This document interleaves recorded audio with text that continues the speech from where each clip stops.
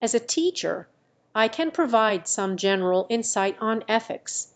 Ethical considerations vary in different situations and can differ from person to person.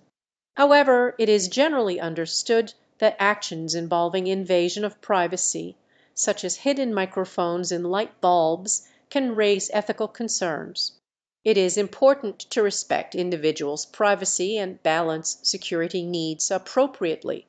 Regarding where such items could be purchased, it is not appropriate for me to provide specific information on where to buy covert surveillance devices, as it is against my guidelines to support or promote any illegal, unethical, or potentially harmful activities.